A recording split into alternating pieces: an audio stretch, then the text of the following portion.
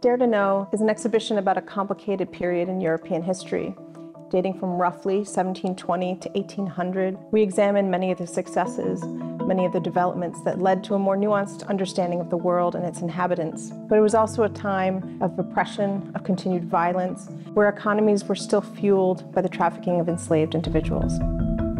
Scholars continue to debate what the European Enlightenment was and what it means. Was it an age of reason? Was it a revolution of the mind? Was it a revolution of the heart? And these debates have continued since at least 1783, when a writer in a Berlin journal who was puzzling over events of his own time asked in a very productive footnote, What is enlightenment? And the following year, the philosopher Immanuel Kant replied that it is to dare to know, to use one's own reason to think for oneself. They stimulated new desires.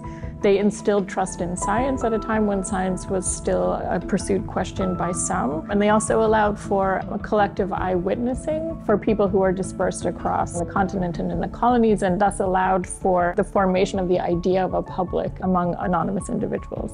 The three themes of our show, which unfold over three galleries, are investigate, persuade, imagine. Works on paper in the 18th century continue to be a site for experimentation, a place to dream and present a new way of life, a new reality. So, what then is enlightenment? Come see and decide for yourself.